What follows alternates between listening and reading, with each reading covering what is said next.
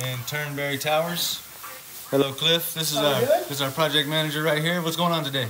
Man, we got a big project going on here today. We're doing a Marantz Martin Logan system.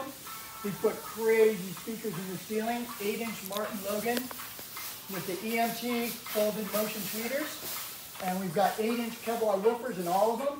We've also got a large set of electrostats that are gonna run the front left and right mains. Um, everything on a big Marantz, the newest series Cinema 50. Damn, let's Yeah, go. it's gonna rock in this place. Let's We're gonna go. have this place rocking and rolling. Hell yeah! And then what we got to recover? We got everything covered up here because this is a ten million dollar joint. And So we got the drywall guy coming. He's going to finish up.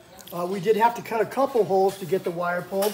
However, we did manage to get all the speakers in the ceiling, and we were only able to cut. We only had to cut two holes, so we did pretty good on that, I think. And now we're just uh, you push them up and bust them.